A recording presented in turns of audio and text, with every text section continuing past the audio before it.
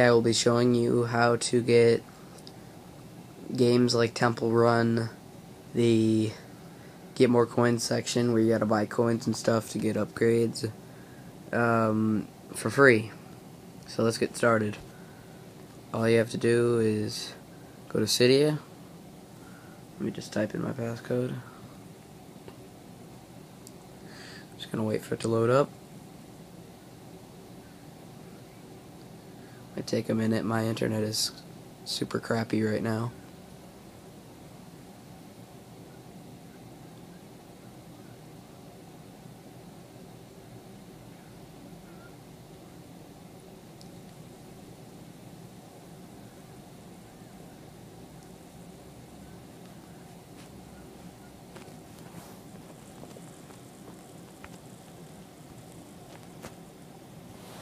And hold on.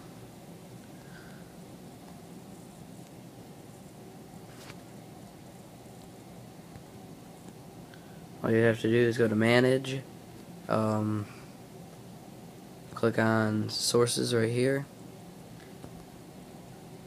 type this in that's hovered, that I've got hovered blue.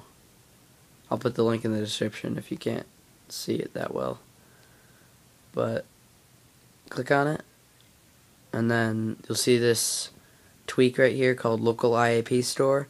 Just download that, and it's sort of like IAP Cracker, but that it doesn't work for the 6.0 software version and up. So this is just uh, another sort of thing for it. So you just go back once you've downloaded it.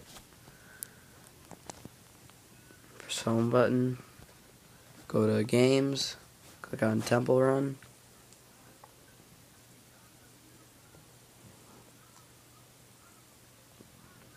For it load.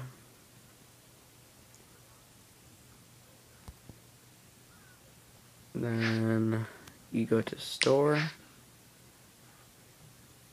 As you can see, I've been buying stuff, not buying it, but clicking on it, getting the coins. I've already got 9 million. To go to get more coins. What with the products.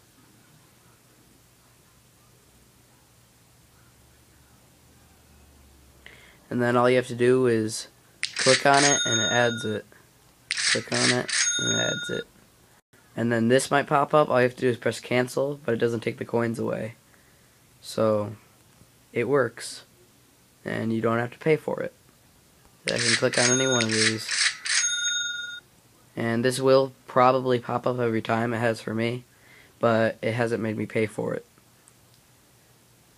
this also works in games like Temple Run 2 and if you have Angry Granny Run. Pretty sure it works in Fruit Ninja too. And yeah, that's how to get um, stuff like this for free. The purchases in the games. This has been my first video for the iPod. I plan on making more. So if you enjoyed this video, like and favorite, and subscribe.